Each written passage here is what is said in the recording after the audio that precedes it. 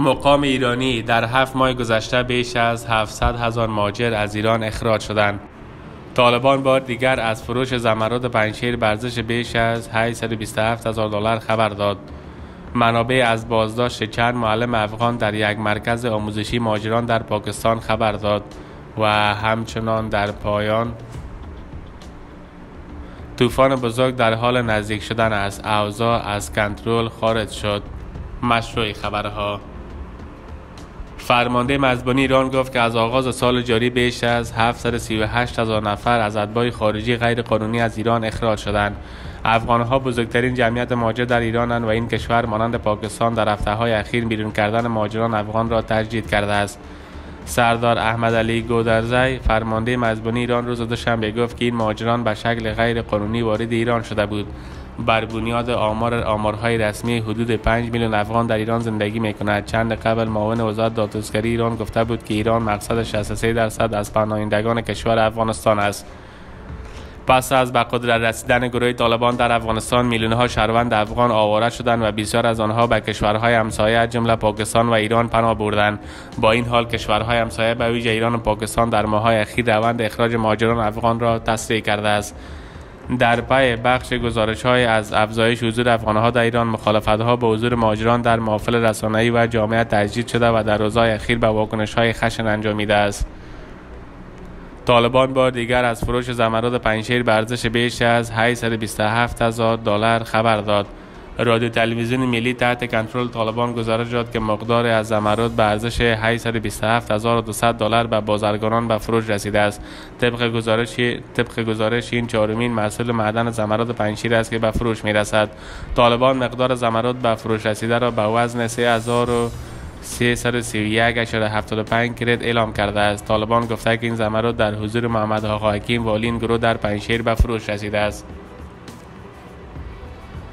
منابع از بازداشت چند معلم افغان در یک مرکز آموزشی ماجران در پاکستان خبر دادند.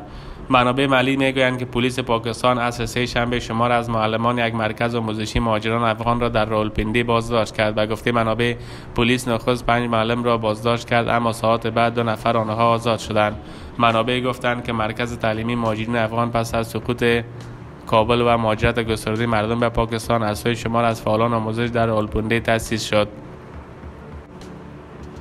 ریچارد بنت. افغانستان با موجی از طوفان‌های نقض حقوق بشری روبرو است ریچارد بنت گزارشگر ویژه حقوق بشر سازمان ملل متحد در امور افغانستان در تازه‌ترین گزارش خود به این سازمان گفته که افغانستان با موجی از طوفان‌های بشری از جمله وخامت وضعیت حقوق بشری به دلیل سیاست‌ها و اقدامات سرکوبگرانه طالبان و فرهنگ مافیت روبرو است شورای حقوق بشر سازمان ملل متحد سه شنبه شب در بیانیه به نقل ریچارد بنت نگاشته که برای رسیدگی به این های بشری در افغانستان نیاز به های فوری است. نشست مسکو بازیان روسیه و بسور طالبان. زمیر کابلوف از گردانندگان سیاست خارجی روسیه در زمینه افغانستان بر رسانه ها خبر داده بود که نشست مسکو به ارتباط افغانستان بدون دعوت از امریکا برگزار خواهد شد. روسیه می‌خواهد از طریق برگزاری چنین نشست های وانمود کند که در قضاهای افغانستان دارای نفوذ و تاثیر است.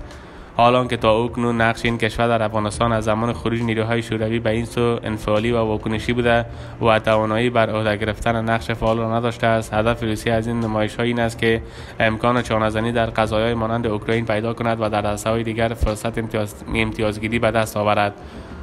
روسیه در این نشست تلاش خواهد کرد که اعتماد طالبان را فراهم کرده و راههای برای همکارهای همکاری های بلند مدت با این گروه را پیدا کند.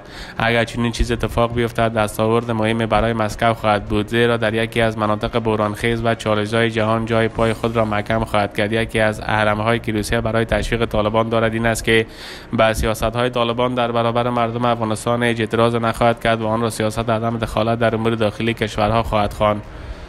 طالبان کار کردن با حکومت های را دوست دارند که به شیوه سرکوب این گروه کار نداشته باشد و این کار را حق آن بداند اما این حرم به آن درجه اهمیت ندارد که جای پول و امکانات را بگیرد. اهرم دیگر که روسیه در اختیار دارد. اجازه ندادن به گروه های مخالف طالبان است که از آن کشور و کشورهای زیر نفوذ آن به این گروه فعالیت انجام نشود. سیاست که در دو سال گذشته کم و بیش دنبال شده است. در طرف مقابل طالبان نیز به روسیه اطمینان می‌دهند که به گروه های افراطی مسلح آسیای میانه و قفقاز اجازه نخواهند داد تا دست به عملیات بیرون از مرزهای افغانستان بزنند و موجبات نگرانی روسیه و اقمارش را فراهم سازد. این کارها هم هم سلبی و متمرکز بر خودداری از برخی اقدام هاست و برای برادر گرفتن نقش فعال و اثرگذار کافی نیست. اگر روسیه بخواهد نقشش در امور افغانستان از منفعل به فعال متحول شود باید سیاستش از حالت سلبی به ایجابی تغییر کند و این کار نیاز به هزینه دارد مانند فرستادن مبالغ انگفت پول ارسال اسلحه و امکانات لوجستیکی و سرمایه‌گذاری هایی که بر عواید طالبان تاثیر مهم داشته باشد. ظاهرا روسیه توانایی چنین اقدامهایی را ندارد و طالبان نیز این را می‌داند از همین رو طالبان بیشترین نشستهای پشت پرده خود را با کشورهای به پیش می‌برد که پول فراوان و امکانات بیپایان دارند. سودی که طالبان از رفتن به مسکو می‌برند دست کم در دو زمینه است. نخست اطمینان از بابت مخالفان این گروه که نتوانند حمایت روسیه را کسب کنند و امکانی برای فعالیت به ضد آن داشته باشند. دوم بالا بردن قیمت خود در چشم خریداران بینالمللی و فرستادن سیگنال به امریکا و اروپا که هرگاه کمکهای آن کشورها کاهش یابد این گروه می‌تواند به سراغ حامیان احتمالی دیگر برود. طالبان حتی پیش از رسیدن به قدرت این سیاست را در پیش گرفته بودند و می‌خواستند با برقراری روابط با روسیه و چین به امریکا و اروپا نشان بدهند که این گروه خریداران فراوان دارد. این بار نیز سود اصلی را از این نشست طالبان خواهند برد و روسیه مثل گذشته حاصل چندان نخواهد چین. تأکید بر نامشروعیت سلطه طالبان در نشست سالانه سازمان ملل. نشست های سالانه سازمان ملل متحد که رهبران جهان یا نمایندگانشان در آن گرد میآیند تا نمایشی به شمار می رود و غالبا با طرحها و تصمیم های مهم همراه نیست اما بیانیه های رسمی رهبران در این نشست و بین الصدور آنها نکات فراوان درباره اوضاع سیاسی و نتیجه آن و نیز منطقه‌ای بحران زده دارد که ما را به درک آنچه در پس ذهن سیاستگزاران جانی و منطقه‌ای میگذرد را می از اشارات و کنایت که در سخنان این رهبران می آید تا سفارش ها و و رجزخوانی های یکیده می توان به نگرانی ها ها و رویکردهای کلانتر وقف پیدا کرد. درباره افغانستان. مهمترین نکته که به چشم می آمد اجماع جانی برنامه شروع دانستن. سلطه طالبان بر این کشور بود و از این رو هم کم و به شکلگیری نظام دیگر به مسابقه پیشرد مشروعیت تاکید داشت. نظامی که بتواند نماینده همه مردم افغانستان باشد از اقوام تا احزاب تا گرایش های اجتماعی مختلف. همه متفق قول بودند که سلطه یک گروه مسلح با گرایش های روانی دینی به سال و ثبات پایدار نخواهد انجامید و حاکمیت آن برای منطقه و دنیا قابل تحمل نخواهد بود.